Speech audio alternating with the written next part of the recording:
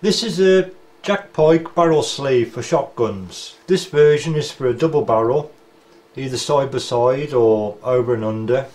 You can get the single barrel versions. This part here is just a cut off, just to show you that it fits okay onto the side by side. The one thing to note though is with the side by side, the rib in the middle is quite narrow. The front sight is quite small and this sleeve it fits over quite nice. It's a good fit for a side by side. It's very easy to cut. You obviously want the required length. I found these are supplied just a little bit longer than needed.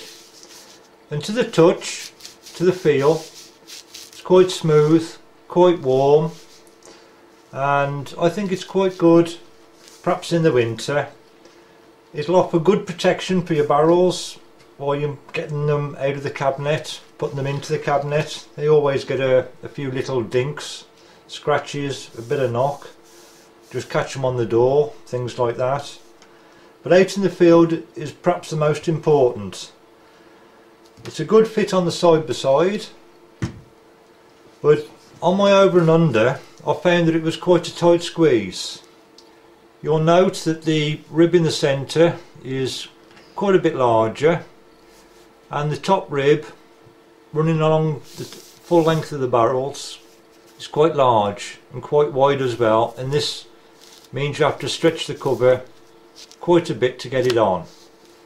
Plus the front sight it's quite large compared to the side by side again obviously it feels nice quite a smooth comfortable grip to the barrel. I know you don't shoot holding the barrel but you do hold and move the gun around with the barrel. And if you've got sweaty hands this will certainly keep the fingerprints off the bluing and help protect the gun finish. I've cut this, that's where the stock comes to, I've cut this so it finishes just there. So if you add on the extra piece that I put onto this side by side the full length you've got more than enough. This happens to be a 30 inch over and under and there's certainly enough material there for a longer gun as you've got.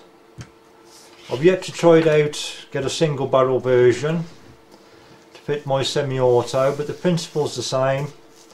A nice protective covering for your barrel it's in camouflage as you can see some tree bark, a bit of a twig, there's brown leaves, like a grey colour, a brown colour, green leaves, nicely detailed and patterned.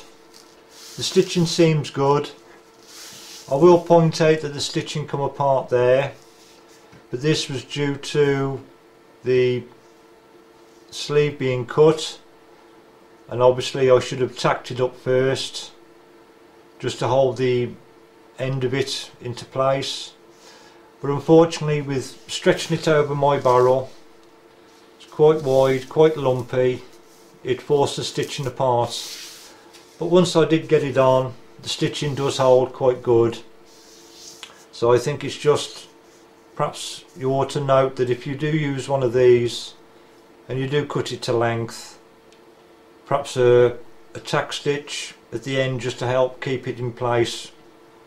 It's not that they've pulled apart and ripped, it's that the stitching come undone and just with the force of trying to get it over the barrel the stitching just come apart. It's just the way stitching works I suppose when you're trying to stretch something over. So definitely worth trying to tack it up. I'd obviously done it a little bit too late. I should have done it before and not after I put it on the gun. The proof of the pudding obviously though, as it's camouflage, does it work out in the field? Does this cover the gun barrel? Does it hide it? Does it help you to blend in with the background into the bushes, whatever you require? Even if you're not looking for camouflage, I think it's a nice good covering for the barrel. I personally are testing and trying out to see if it is camouflaged and it does work. That was the main initial reason why I bought it. But I'm quite happy just to have it on the barrel for the moment just for protection purposes at least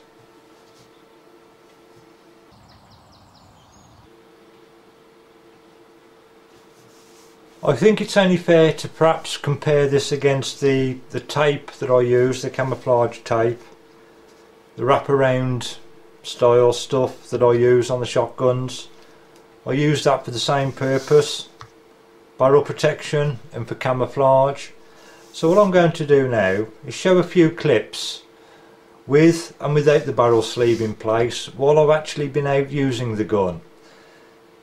I don't know what you'll think of the clips. In some clips you'll definitely see that the camouflage is on. This uh, barrel sleeve.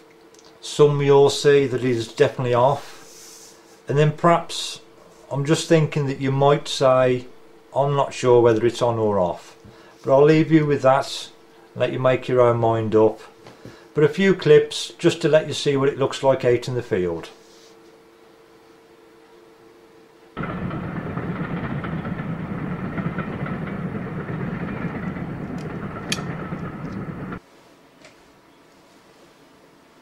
You've seen it now without the sleeve fitted.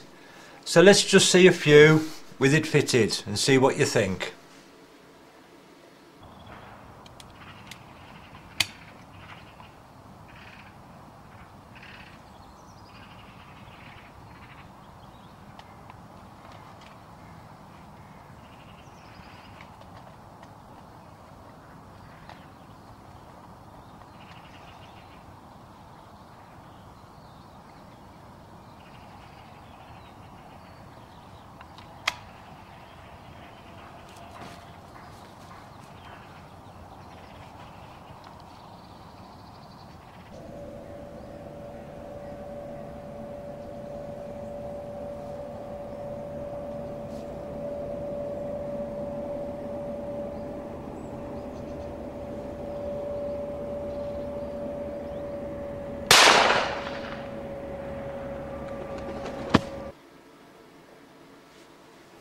You've seen a few without the sleeve fitted.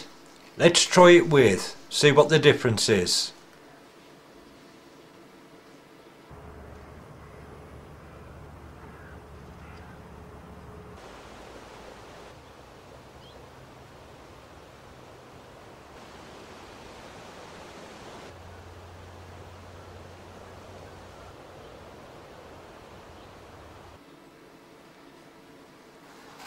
Now we'll try a few with the sleeve, without the sleeve, with the sleeve. Just mix them up, see if you can spot the difference.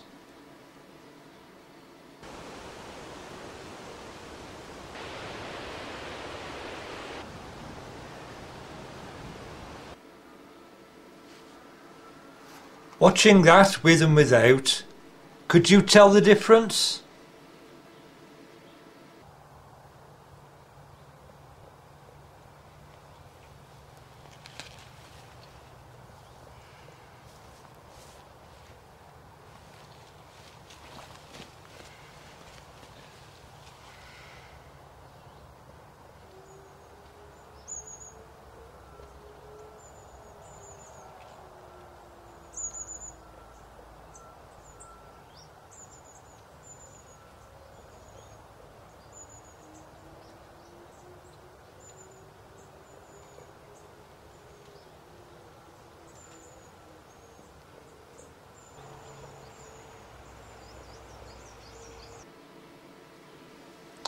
I've now been using this sleeve for quite some time.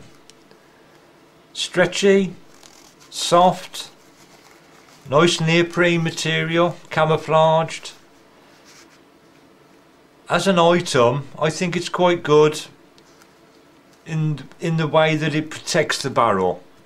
I'm quite happy to have it on and it protects against dinks and scratches, moving it around, knocking it against a barbed wire fence, getting it in and out of the cabinet, things like that. So it, it certainly has a value, it certainly has a worth on the gun. But looking at it from a camouflage item, to help the gun blend in with the surroundings if you're using camouflage then is it doing that sort of job quite often if you're in a hide and you mount the gun you might give it a bit of a tap against the hide pole uh, the one that holds the net in front of you. There's all sorts of situations where a cover like this could prove very valuable and very much worth the money. But I'm looking at the camouflage side of it at the moment not the protection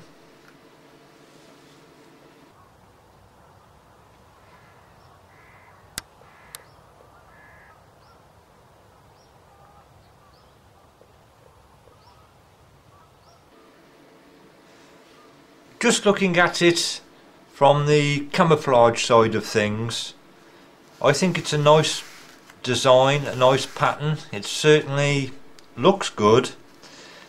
Looking at it you've got a tree bark effect, some light greys that you see on some trees autumn leaf colours lightish and dark oranges browns whatever you want to describe them at.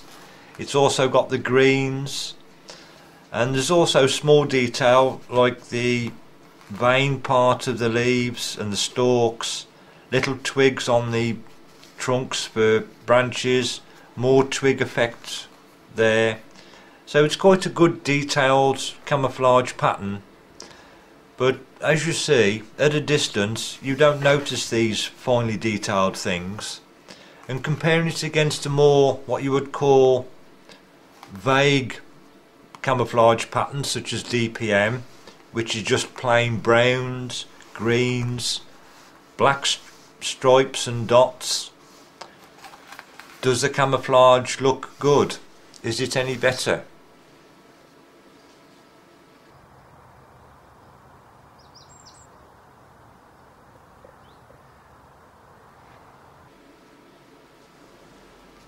I've been using this sleeve now in a variety of situations. By that I mean. Cloudy and dull, almost to the point of raining. I've also used it in overcast days but it was still nice and bright. And sunlight. And there's quite a marked difference between the bright days and the darker days. Plus you could be sat under a tree hidden inside a bush trying to blend in and the position you are and where the gun is used could make a difference. Some material, as you can tell from this, is very reflective. That's a plain card, ordinary cardboard. This is plastic coated and certainly a bit of a signal there, gives the game away. And I'm just wondering if this material is the same sort of thing does this material on the sleeve itself reflect more light or attract more light? Bit of a difficult subject to try and explain when you know what you're talking about but you, you're trying to explain it. Some material just absorbs the light and it's non-reflective a matte effect.